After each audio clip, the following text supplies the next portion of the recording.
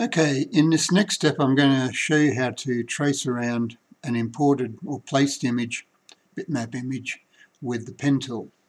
Um, now I've done some work on this already.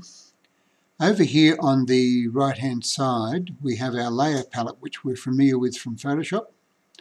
Um, and on the bottom layer I have my placed image, my bitmap image. It hasn't been traced yet.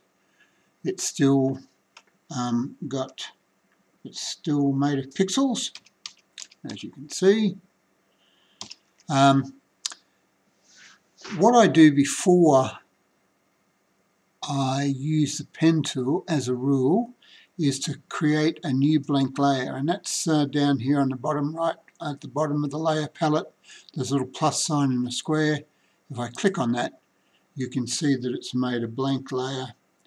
And you'll notice that any lines I draw on that layer will be green.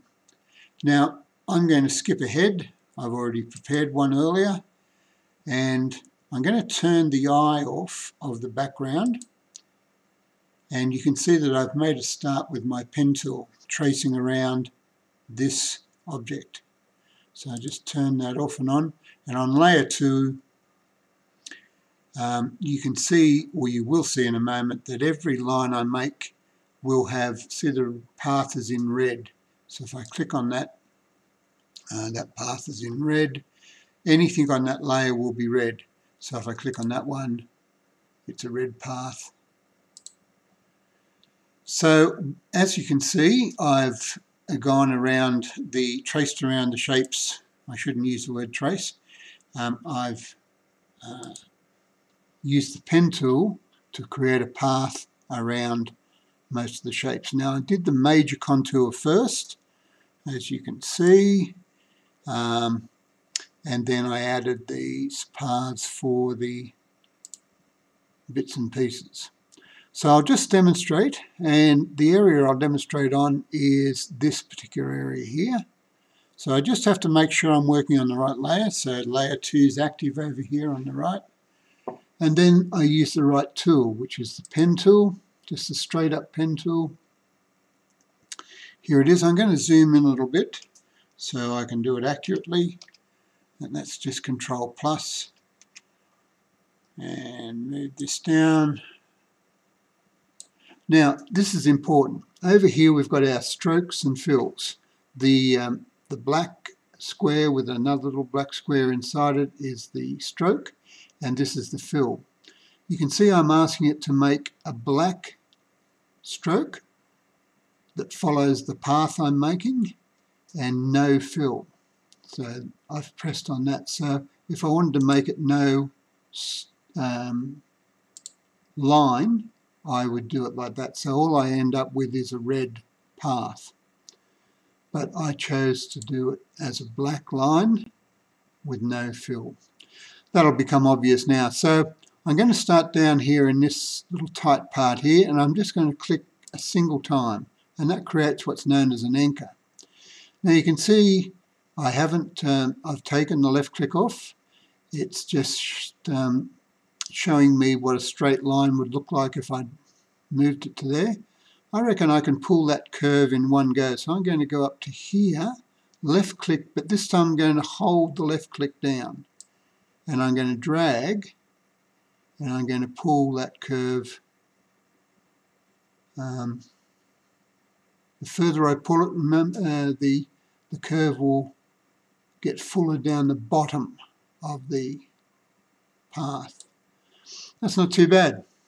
Now you can see that it wants to go around there but when I start a new this curve here I have to come back here to that anchor point hold down Alt and left click.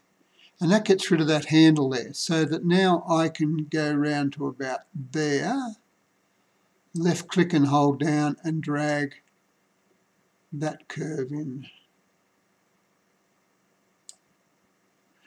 Um, same with this, so I come back to that anchor point, hold down Alt and left click, and I reckon I could do all the way to there left click and hold down and drag that curve in come back to there alt left click, get rid of that handle.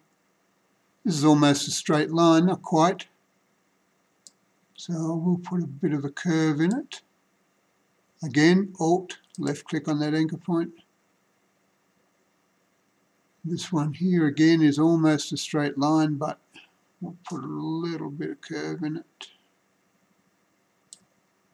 Alt, left click, go around the corner to here, pull that curve, Alt, left click, all the way down to here,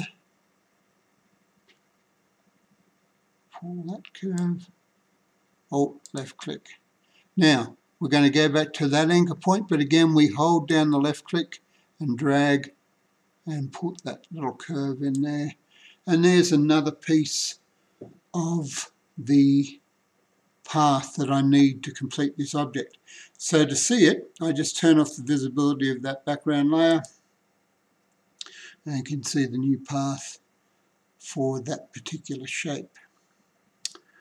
Okay, um, I would then continue with by selecting another shape and tracing or creating a path for that area there.